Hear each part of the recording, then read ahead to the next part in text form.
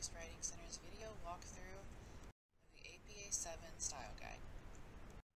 In this video, we will discuss some general information about APA, including which disciplines use it and why, formatting guidelines for the student edition of APA 7, rules for creating in-text citations, which are also known as parenthetical citations, and how to correctly create references for sources, including examples of some of the most common types like scholarly journals, and articles.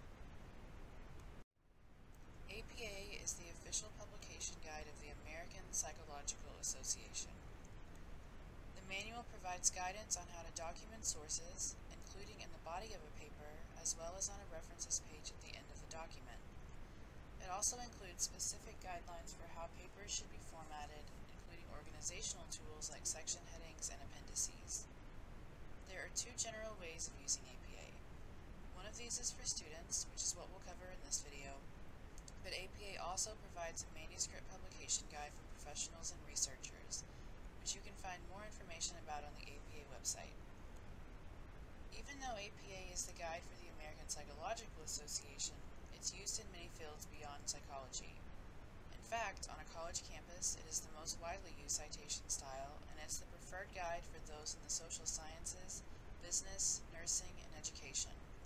Its wide reach means that all students will likely be required to use APA at one time or another in their college career. The 7th edition is the currently in use edition, and it was released in late 2019. If you're watching this video because you are making the transition to using APA 7, please know there are many similarities but important differences in formatting recommendations, particularly on the cover page, which will be covered in a later slide. Like most documentation styles used at universities, APA requires that all text be double-spaced, including on the cover page and the references page. In addition, you should avoid extra spaces. Only press the Enter or Return key once each time. You should also use 1-inch margins throughout. This is the standard in both Microsoft Word and Google Docs. While APA does not provide a specific font that should be used, their guidance does state that the font you choose must be clearly legible and accessible on all computer systems to avoid conversion issues. They recommend fonts including 11-point Calibri, which is the default font in Microsoft Word, or 12-point Times New Roman. Please note that because 12-point Times New Roman is considered an academic standard, your professors may require that font. If this is the case, or if your professor makes any recommendations that are not standard to APA, you should follow their guidelines over the APA guide. As previously noted, there are some differences in what the cover page looks like in APA 7 as opposed to previous editions. The image on the right shows a properly formatted APA 7 cover page. Begin by adding the page number in the top right of the header of the document. Note that it should be in the same size and font as the rest of your paper. You'll then type the title of your paper, centered and in bold. Be sure to press enter a few times so the text is close to the true center of the page. After this, press enter twice, the only time in the entire document this is needed, and type your name. Next, you should type the department of the course and your university affiliation. In our case, it's acceptable to type IU Southeast as opposed to Indiana University Southeast. The next line should indicate the course number and you may also write the course name. Next, type your professor's name. Finally, the date the paper is due, writing out the entire name of the month rather than the number. Before we enter in a conversation about what in-text citations look like, it's important to touch briefly on how APA requires formatting direct quotes taken from sources. If the direct quote is 40 words or fewer, you will simply embed that into a sentence as seen in this example. Note that a direct quote cannot stand alone as its own sentence. It must be introduced in some way in your own words. In a direct quote, you are also required to provide the page number in the in-text citation if there is one available, such as if you are quoting from a book or a journal article. It's acceptable to omit this if there are no clearly accessible page numbers. If your quote has more than 40 words, you must use what is referred to as a block quote. Block quotes are set apart from the text by each line being indented one time from the left margin. This can be seen here. Block quotes are also unique in that you do not need to use quotation marks around them, as the difference in indentation indicates to the reader that this is a direct quote. Block quotes must be used sparingly. If you are using a quote that is 40 words or longer, ask yourself if all of this information is truly necessary. It's much preferred that you use shorter direct quotes or paraphrase the quote whenever possible. Now that you're familiar with how to format quotes, we can move on to discuss in-text citations. In-text citations must be used whenever you are directly quoting a source, but also anytime you summarize or paraphrase one. APA provides guidance on two forms of in-text citations. The first is referred to as a narrative citation. Narrative citations are those that bring up the bibliographic information, like the author or website, and the sentence itself, as in this example.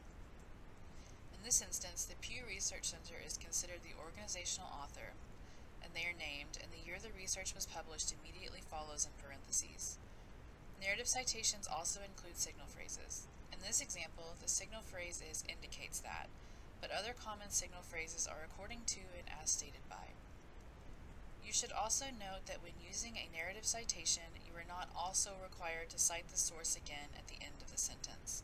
The only exception to this is when you have directly quoted a source. In this instance, you must provide the page number after the quote in parentheses. The other form of in-text citations that are used in APA are referred to as parenthetical citations.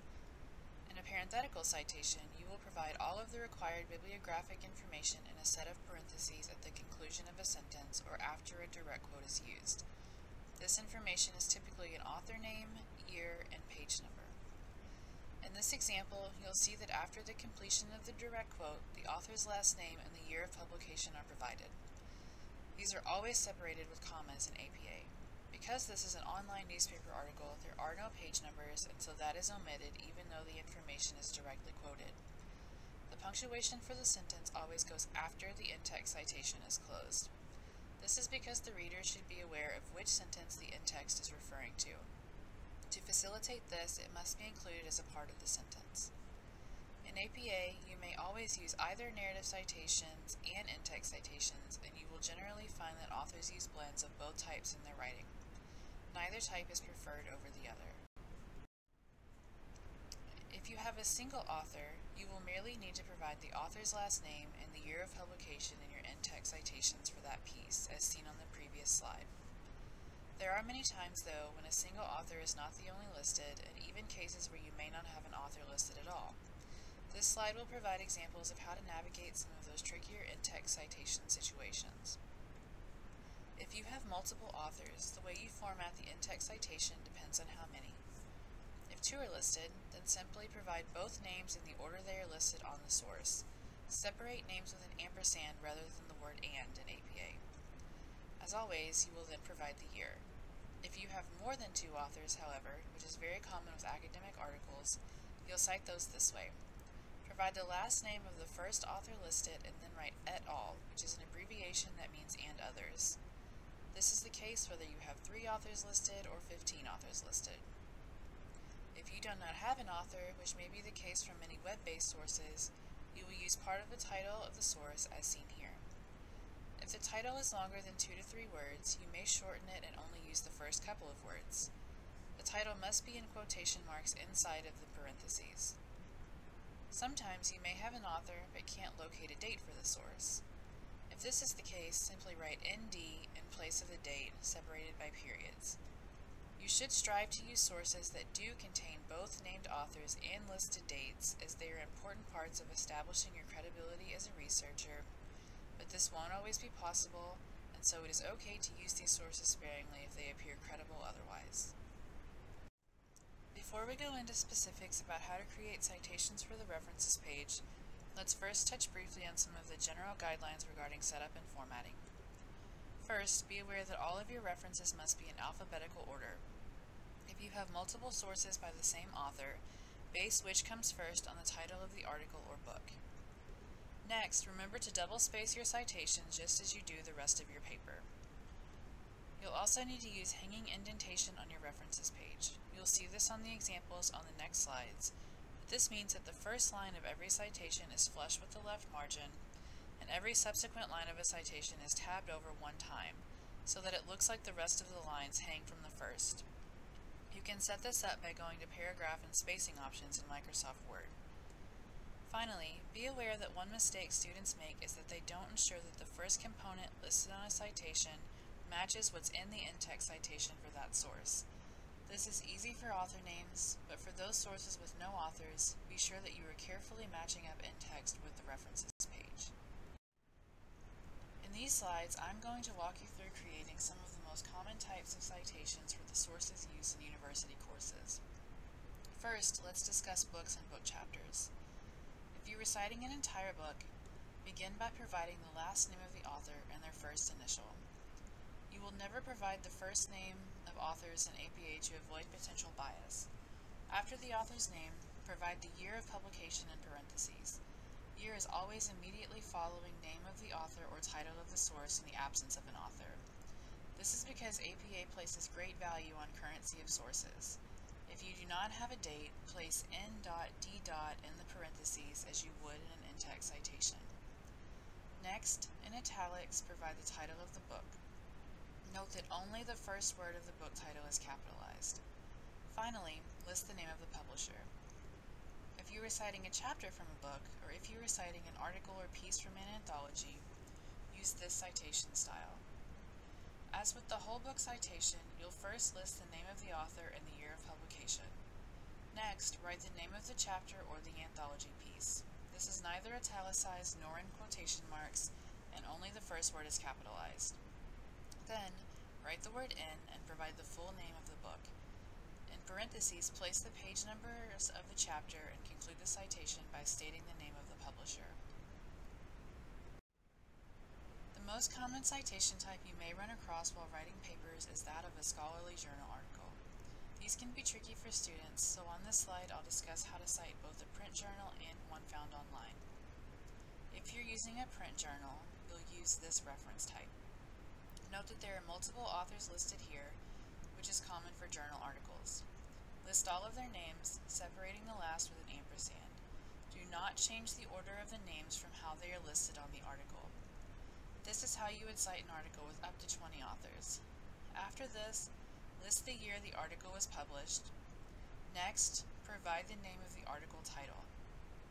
In article titles, you capitalize the first word, the first word of a subtitle, and proper nouns. No other words are capitalized. After this, list the name of the journal. This should be italicized, and in contrast to article titles, all main words should begin with capital letters. Then provide the volume and issue number. The 44 in this example is the volume number, and it will always be listed first on bibliographic materials. Note that it is also italicized. The 5-6 are the issue numbers that this particular article was found in. Conclude the citation with the page numbers of the article. Since students tend mostly to focus their searches on library databases, it's far more likely that you will be using online journal articles. You'll note that this example is organized almost identically to the print version, except that you provide the URL of the example at the end. This needs to be the stable URL, which is always provided on library databases, but it is not the URL in the address bar of your web browser. It's important to look for the word stable URL on the database and use that one.